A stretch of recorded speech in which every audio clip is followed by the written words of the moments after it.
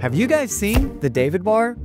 It's a new protein bar that's getting promoted by some of the top influencers. But when we look at some of the ingredients, some concerns come up. The first one is EPG, known as esterified propoxylated glycerol.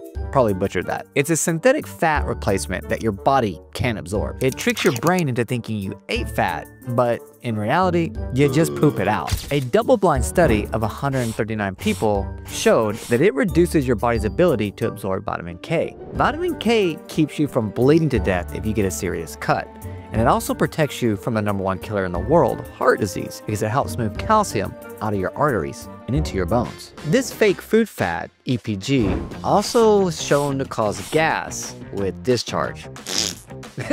oily stools, and diarrhea in some participants. But that was in dosages around 25 to 40 grams a day. So what do you guys think? Another frankenfood ingredient or no issues here?